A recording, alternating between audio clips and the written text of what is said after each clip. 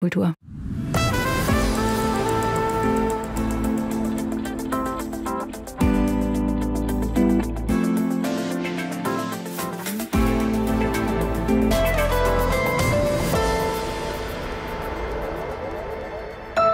RBB 24 Inforadio Nachrichten für Berlin und Brandenburg.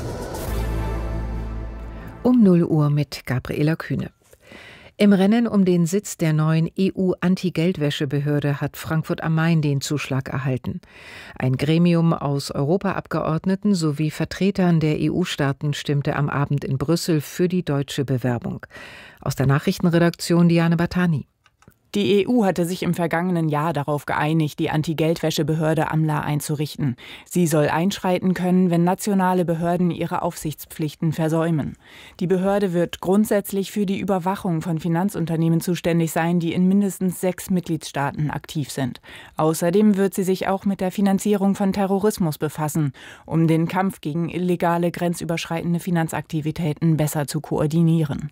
Frankfurt setzte sich mit der Entscheidung gegen acht andere Bewerbungen Bewerbungen durch, unter anderem aus Paris, Madrid, Wien, Luxemburg und Vilnius. Passagiere der Lufthansa müssen sich auf neue Streiks einstellen. Die Gewerkschaft UFO erklärte die Tarifverhandlungen für die rund 18.000 Kabinenbeschäftigten für gescheitert. Sie rief ihre Mitglieder auf, in einer Urabstimmung ab kommender Woche bis 6. März über Streiks zu entscheiden. Auch in den Tarifverhandlungen für das Lufthansa-Bodenpersonal zeichnet sich keine Einigung ab. Die Gewerkschaft Verdi hält ein neues Angebot der Fluggesellschaft nicht für ausreichend. Im Gazakrieg wird eine neue Verhandlungsrunde am Wochenende wahrscheinlicher. Das israelische Kriegskabinett hat am Abend zugestimmt, eine Delegation zu Gesprächen nach Paris zu schicken. Dort soll unter anderem mit Unterhändlern aus Ägypten und Katar über eine humanitäre Waffenruhe und die Freilassung israelischer Geiseln gesprochen werden. Ein Vertreter der US-Regierung sagte, in den vorbereitenden Gesprächen gebe es Bewegung und offenbar Zugeständnisse. In der Fußball-Europa League hat der SC Freiburg das Achtelfinale erreicht. Der Bundesligist gewann mit 3 zu 2 nach Verlängerung gegen den französischen Erstligisten Lens. Aus der Sportredaktion Christian Hake. Es war ein wilder Europa League Fußballabend in Freiburg. Zur Halbzeit 0 zu 2 hinten und dann das Spiel doch noch gedreht.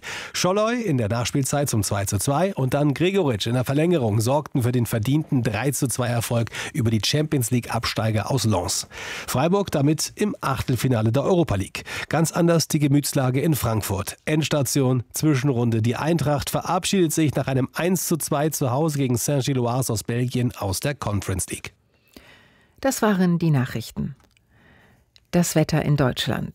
Zeitweise Schauer, örtlich Gewitter, Tiefstwerte plus 7 bis minus 1 Grad, im Norden und Nordwesten Sturmböen, an der Nordsee auch Orkanböen. Tagsüber längere Zeit Regen, ab 600 bis 800 Metern Schnee. Die Zeit 0 Uhr 3. Der Verkehrsservice in der ARD Infonacht. Zunächst mit einer Gefahrenmeldung. Vorsicht bitte im Kreis Bad Kreuznach auf der Landesstraße zwischen Merxheim und Meddersheim. Dort laufen Pferde auf der Fahrbahn. Dann eine Unwetterwarnung in weiten Teilen Norddeutschlands sowie im Kreis Harzbergland, Oberharz also, und in Teilen des Schwarzwaldes oberhalb von 1000 Metern treten bis morgen orkanartige Böen mit Windgeschwindigkeiten bis zu 160 km/h aus südwestlicher Richtung auf. Umstürzende Bäume, Hochspannungsleitungen und herumfliegende Gegenstände blockieren teilweise die Straßen. Dann die A4 Dresden Richtung äh, Gotha und Wandersleben zwischen Bergungsarbeiten. Dort ist die Straße gesperrt, dadurch 8 Kilometer Stau. Die A5 Darmstadt Richtung Frankfurt ist zwischen Langen, Mörfelden und Zeppelinheim nach einem Unfall gesperrt. A7 Flensburg Richtung Hamburg zwischen Dreieck Hamburg Nordwest und Stellingen stockender Verkehr dort. Die A14 Schwerin Richtung Wismar ist zwischen Kreuz Schwerin und Schwerin Ost wegen Bauarbeiten bis morgen 12 Uhr gesperrt. Die A27 Bremen-Bremerhaven ist zwischen Nutlede und Hagen nach einer Fahrbahnabsenkung langfristig in beiden Richtungen gesperrt. Die A28 Bremen-Leer ist zwischen Oldenburg-Marschweg und Dreieck Oldenburg-West in beiden Richtungen bis ca. 1 Uhr gesperrt. Die A44 Aachen-Mönchengladbach ist zwischen Kreuz Jackerath und Kreuz Holz wegen Sturmes in beiden Richtungen gesperrt und dann noch die A71 Erfurt-Suhl. Die ist zwischen Ilmenau West und Gräfenroda wegen Sturmes für Fahrzeuge mit hohen Aufbauten in beiden Richtungen gesperrt. Die Umleitung in Richtung Schweinfurt führt über die U98 und in Richtung Sangershausen über die U13.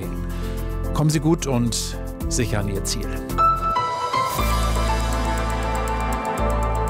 Die ARD Infonacht und die kommt von NDR Info in Hamburg. Wir haben inzwischen Freitag, den 23. Februar. Mein Name ist Carsten Fick. Hallo.